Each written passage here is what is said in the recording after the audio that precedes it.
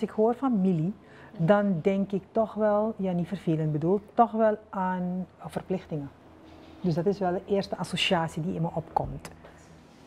Ik ben opgegroeid thuis waar we alleen familie, dus alleen bloedverwanten of mensen met dezelfde naam, dus oom en tante riepen. Wat dus eigenlijk niet zo is zoals het in Suriname. Want in Suriname, ja, iedereen wordt oom en tante geroepen. Maar dat was dus niet zo thuis bij mij.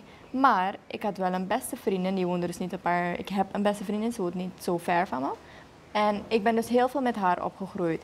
Maar haar ooms en tantes zijn dus ook mijn ooms en tantes. Niet zozeer dat ze familie van mij zijn, maar als ehm, dus bloed van mij. Maar als ik ze zie, spreek ik ze ook gewoon aan met oom en tante. Hallo oom, hallo tante. Dag oma, dag opa. Ja, maar is het niet omdat je haar dat hoort zeggen, dus dat je het daarop overneemt? Dat kan, dat kan ook wel, want ik ben heel veel, ik heb heel veel tijd daar gespend samen met haar.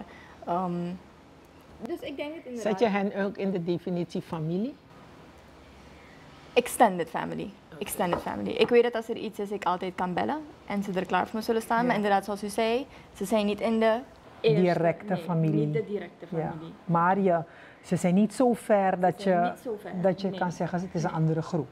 Het is extended family.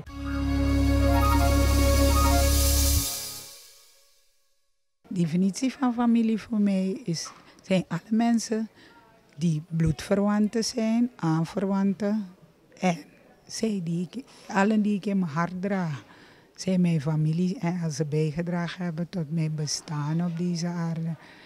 Die mensen noem ik mijn familie. Familie voor mij is eigenlijk wat je erbij krijgt wanneer je geboren wordt. Maar dat betekent niet dat zij je familieleden zijn. Het kunnen ook zijn dat je je vrienden leert kennen en dat het zo'n hechte band wordt dat jouw vrienden eigenlijk je familie worden. En op dit moment zit ik een beetje zo dat mijn vrienden mijn familie nu zijn. Ik leef voor mijn gezin en ja, ik heb een lieve schoonmoeder, heel gelukkig en gestoorde lieve vrienden. Dus dat is het zo'n beetje voor mij wat familie betreft.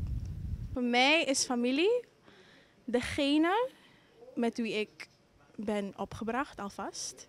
Maar ook mensen die zodanig in mijn leven aanwezig zijn, die ik bij any moment gewoon kan spreken. Als ik nou sad ben, happy ben, ik heb iets te vieren, of ik ben droevig of whatever. En ik kan je bellen of ik kan je appen of anything, dan ben je al familie van mij.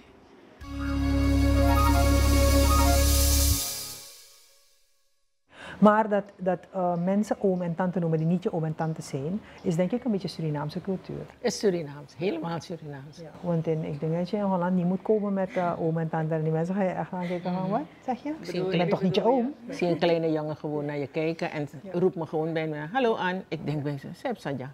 Weet je? Maar is, dat, dat is dan een stukje cultuur. Wij hebben de Surinaamse cultuur.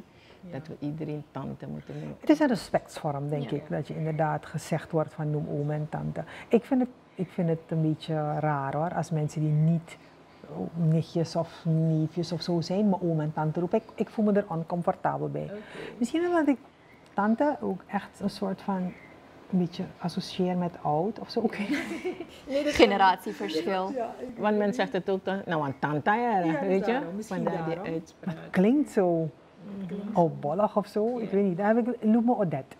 Okay. Liever. Ik vind het niet. U vindt het wel erg als, iemand, als iemand u gewoon... Uh, nee, niet, niet. Het hangt ervan af wie. Toch? Kijk, als jij mij nog niet kent, zou je gewoon misschien zeggen, mevrouw, je kent me nu beter. Je zegt tante. Maar als je ook gewoon zou zeggen, Anne, vind ik het niet... Uh, maar die tante is in dit geval liefkozend bedoel Ja, ja, dat klopt. Echter, wanneer een klein kindje mij gewoon bij mijn naam komt noemen, die, dus een kindje dat mijn kleinkind kan zijn en me zo noemt, dan komt het Surinaams bloed naar boven. Dat ja, je hebt geen respect. Maar zo is hun cultuur. Ik vind het wel fijn, omdat ik mij, vooral bij de Javanen, is het, is het heel sterk dat je je aanspreekvorm zeker moet handhaven. Als iemand ouder is dan, dan ik, heeft die persoon al een andere uh, aanspreekvorm. Mm -hmm.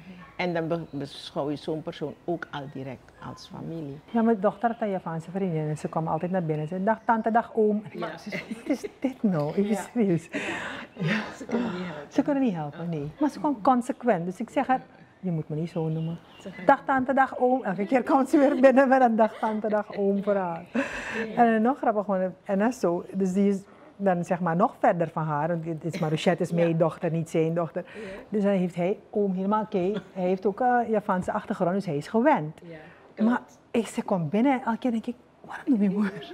Maar wat ook wel moeilijk is? Bijvoorbeeld bij, ehm, als ik bij mijn partner thuis ga of bij mijn vriend thuis ga.